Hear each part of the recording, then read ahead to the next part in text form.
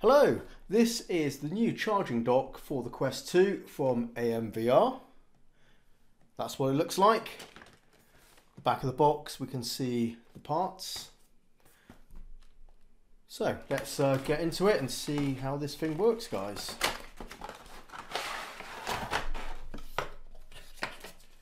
Some instructions.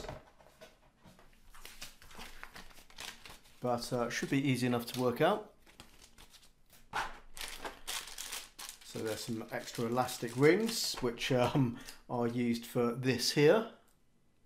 So you get some spares if you need them. So these elastics are like uh, hair bands. They are covered by uh, a fabric. We have rechargeable batteries, so we get two of those. And of course, two controller covers. Interestingly, these straps here um, are leather, real leather. Usually you might get some sort of synthetic leather, but they are using real leather there which is uh, quite surprising, but uh, yeah, nice to see. The main dock, some uh, ports on the back. So that says input, that says output. So that's for plugging into your wall charger and then uh, obviously feeding power into this. And we've got an output here, which you can then hook up to your Quest 2 and recharge the battery on the headset as well. So here are some cables, or a cable. Let's see, what do we have?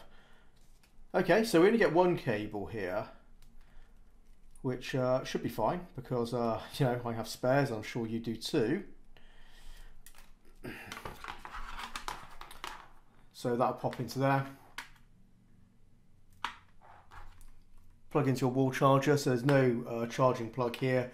It assumes that you have something, which obviously most of us do and uh, and then just hook up your um, which you already have actually. If you have a Quest 2, you're going to have a charging cable, so you can pop that into there. So uh, it's giving you just everything you need and nothing more, which is absolutely fine. It saves waste. There's a little uh, satisfying bit of uh, film in there to take off, so that's nice. You can see there's some uh, pins there. So let's get to the interesting part, um, which is um, these things here.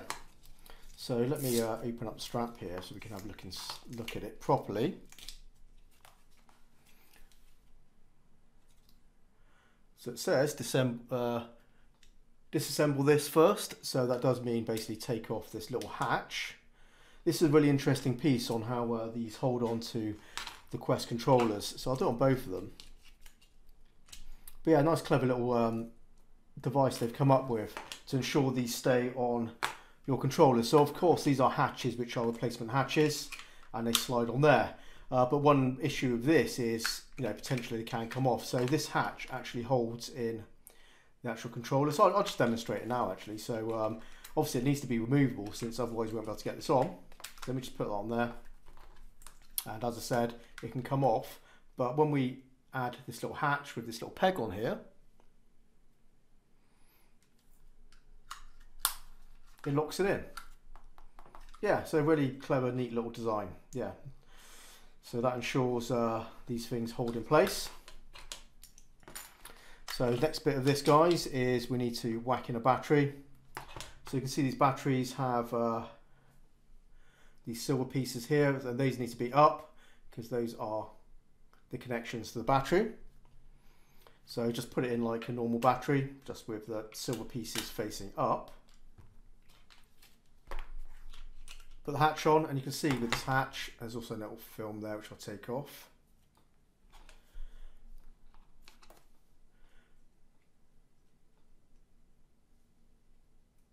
So they connect onto there clearly. And now what we have is a pass through to the battery which then goes onto these pins here. Like so. So you pop it in there and instant charge of your Quest controllers. And that's how this works. To turn the dock on and off, you tap the sensor here. So it's touch sensitive sensor, which is kind of handy because it does mean you don't need to uh, unplug it from the wall when you're not using it. You just leave it on and just turn it off there. So that's standby mode. Let's drop in a controller and immediately the light will change to red to indicate it's charging. Same with the headset as well when you plug it into the output there, which I've tested and it works just fine. So you can have all three devices plugged in and charging at the same time. So very convenient, all charging from one device effectively from this dock. Pop that in there and the same thing there. Uh, when something is fully charged, those lights will turn green.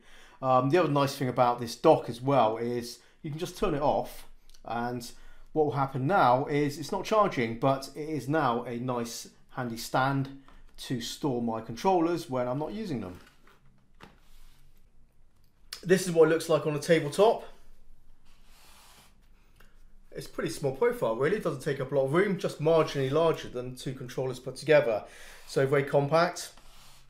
Um, I will mention actually the um, there's some black marks being uh, left by the little rubber bumpers on the bottom. Uh, so be aware of that, but I am kind of moving around my table a lot, so that's my own fault, so uh, just know that anyway. Um, also worth mentioning before we uh, finish this video off is uh, these knuckle straps are really good. So they are very soft because they are leather, so they're very comfortable, nice and flexible.